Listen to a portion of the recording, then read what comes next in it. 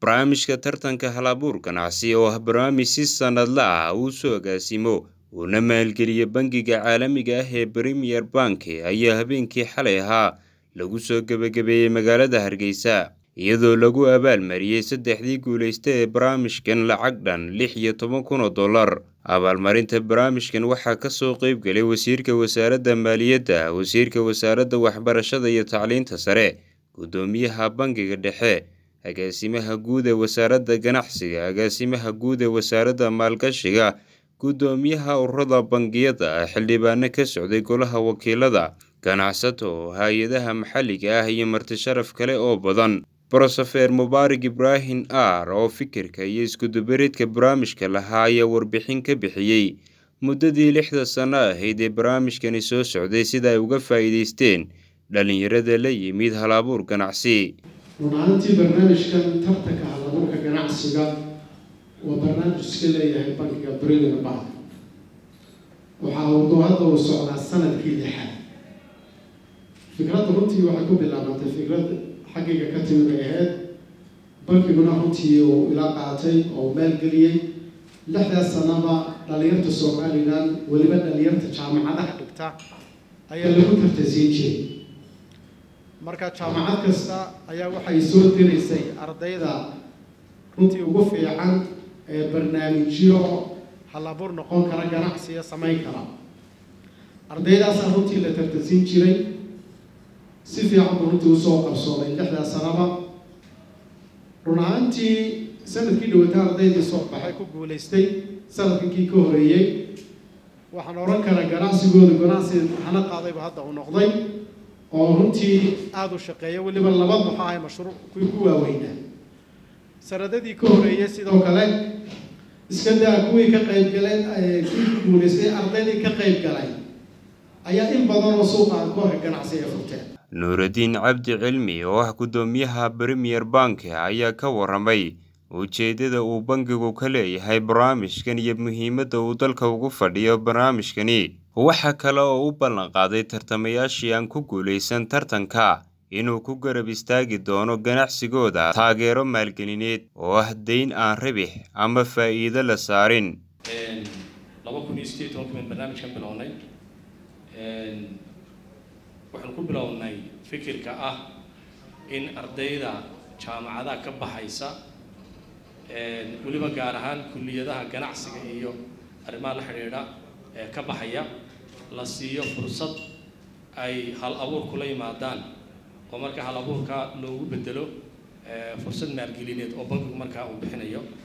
Tankan sanadkan dadka shuruudda buuxiyey ee bulshaweynta soo xariisatay short liska ilaa boqol qof ayaa ku soo baxay. Waxaa tartanka loo qabtay markii u dambeysay labaatan tartamaa loo qabtay.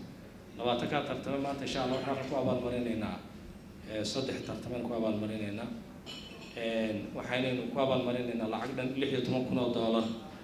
Iyadoo marka aynu kaalmaha koo iyo laba iyo saddexintan u kala qaadno aynu siinayno waa lacag runtii waa deeq weeye. Aan doonayna ganacsigooda. Ay ku kobciyaan waana ganacsiyo yaryar sidaan hore markii barnaamijka la furayana aan u ballan qaadnay waxaan ballan qaadaynaa runtii ganacsiyada kale tartamay. Ee iyagu aan guulaystayaasha saddexda kaalmood oo sarreeya gale aan noqonin waxaan u ballan qaadaynaa inaan iyagana maalgelin aan ribix iyo maaragtay faa'iido lahayn.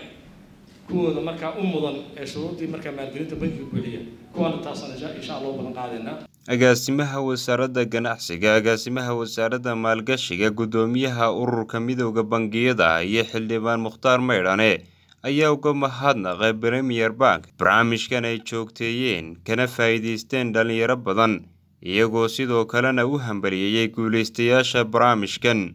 Iyagana aada iyo aad baan u bogaadinayaa kooxda guulaysatay. Banka premier bank. Isagana runtii aada iyo aad baan ugu ammaanaya hawsha qiimaha faraha badan leh ee uu soo waday. Shantii sane u dambeeyey ilaahay ha ka abaalmariyo iyagana ganacsiga ilaahay ha u barakeeyo. Runtii aasaasidda barnaamijkan iyo hirgelintiisa waan ku habalyanayaa runtii waxa weeyaan hindisihii koowaad sida halkan laga sheegay ee barnaamijkan hal oo uu lahaa profesorku. Waxaan sidoo kale aada iyo aada ugu hambalyeynayaa bangiga premier banka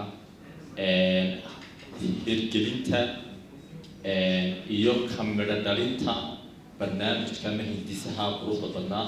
Hirgelintiisa kamidho dhalintiisa iyo maalgelinta uu ku sameeyey. Kaasoo maanta runtii waxa weeye muddo dheer runtii waxay bankigu soo waday. Dhibaatada ugu weyn ee dalkan jirtaa waxa weeyaan access to finance sidii dhalinyartaasi ay u heli lahaayeen dhaqaale markay maskaxdooda iyo caqligooda tuujiyaan halabuur la yimaadaan halkii ay u baxsan lahaayeen. Marka premium bank dee wuxuuba furay arrin muhiim ah. Arrinkaas ayuu ka jawaabay waxaynu leenahay ummadaada iyo ummadiina reer somaliland iyo dhalinyartiina iyo ganacsatada yaryarba wax weyn baan u soo kordhiseene ilaahay khayr idinka siiyo jazaakum allahu khayr marka koowaad ilaahay baa mahadle marka labaad waxaan jeclahay inaan umahadnaqo premier bank waajibkaa qaran ahaan ina wada saarnaa ee aada kaalin muhiima runtii aada ka qaadateen marka saddexaad waxaan jeclahay inaan u hambaliyeeyo haddii eeba idmayo intii guulaysatay. Waxa weeyaan fursad bay ahayd dabcan. Inta aan guulaysanna waa guulaystayaan aniga aragtidayda. Wasiirka wasaaradda waxbarashada iyo sayniska axmed maxamed diiriye toorno guddoomiyaha bangiga dhexe cali cabdilaahi wasiirka wasaaradda maaliyadda sacad cali shire ayaa dhammaantood ka hadlay barnaamijkan muhiimadda uu ganacsiga iyo dalka u leeyahay iyaga oo kuna hambaliyeeyey premier bank dowrka weyn ee uu kaga jiro horumarka ganacsiga iyo dhaqaalaha dalka. Faraxsana inuu barnaamijkani dhallinyarada ku dhiiri ma aha inta ka qayb gasho qura. Inta daawanaysa iyo inta maqasho ku dhiiri inay maskaxdooda ay adeegsadaan oo aanay ku soconinu sidaasaa la yidhi curintaa waxaynu uga baahanay ganacsiga waxaynu uga baahanay maamulka waxaynu uga baahanay dowladnimada waxaynu uga baahanay maaragtay caafimaadka. Meel kasta waynu uga baahanay. Oo kale dee premier bank hawl fiican ayuu fuliyey. Laakiin laba dhinacba in laga soo taageero u baahan yahay oo waxaan is leeyahay dee baanaka kale maalgeliyaasha kale inay contribution sameeyaan. Aanay mid kale ka dhinac furine kaa premier bank uu sameeyey ay contribution ku soo sameeyaan calina wiinala joogaa dee bankiga dhexe laftigiisuna. Uu curintaa dee ka qayb qaato sidii dee miisaaniyadeenna inaynu ku darsano curinta dhalinyarada in budget line item aynu helo inkastoo sanduuqa dhalinyaradaba la sameeyey. Badan ee runtii muddada dheer ay soo wadeen ee hal abuurka iyo maalgashiga iskugu jira.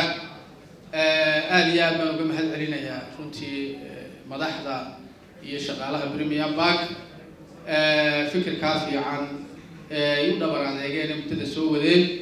Waxaa kaloo runtii iyagana hambalyeynaya guulaystayaasha iyo intii aan ku guulaysanay ka soo qayb gashay ee hal abuurada dhalinyarada ahaa ee ganacsigooda halkan ku soo bandhigay. Waxaa kaloo mahadnaqaya guddigii runtii daadihinaysay barnaamijkan ee halkaa caawa soo gaarsiisay. Waan bogaadinayaa mashruuca guud ahaan premium bank inuu mawduuc aada iyo aada u muhiima qaran ahaan inoo muhiima bulsho ahaanna inoo muhiima inuu bilaabay oo ah maalgashi maskaxeed. Marka hore waxaan hambalyeynayaa dhalinyarada barnaamijka qayb qaadatay. Si gaara waxaan u hambalyeynayaa intii ku guulaysatay waxaan u mahadnaqayaa bangiga premier hambalyeynayaan runtii barnaamijka qiimaha leh kudayashada leh ee ay bilaabeen shaqooyinka baaninka waxaa ka mid a in la isu keeno amba inay isu keenaan fikirka iyo maalka. Innovationka iyo capitalka entrepreneurshipka iyo capital. Marka shaqooyinkii bangigu unbuu gutooy ugu dambeyn waxaa la abaalmariyey saddexdii guulaysta ee ugu sarreeyey tartamayaashii barnaamijka tartanka halabuurka ganacsiga burmaal bekeri oo ah tartamyihii ku guulaystay kaalinta koowaad ayaa lagu abaalmariyey lacag dhan toddoba kun oo dollar. Halka hadaf tag oo kaalinta labaad gale la guddoonsiiyey shan kun oo dollar. Sidoo kalena dheehsame oo kaalinta saddexaad ku guulaystay ayaa la guddoonsiiyey lacag dhan afar kun oo dollar. Maqalka barnaamijkan waxa ay si toosa bulshadu baahintiisa ugala socdeen warbaahinta kala duwan ee dalka laga bilaabo. Saddexdii bisha barakeysan ee rabadaan ilaa lix iyo labaatankii bishan rabadaan waa xamse maxamed wararka laanta afka soomaaliga c b a hargeysa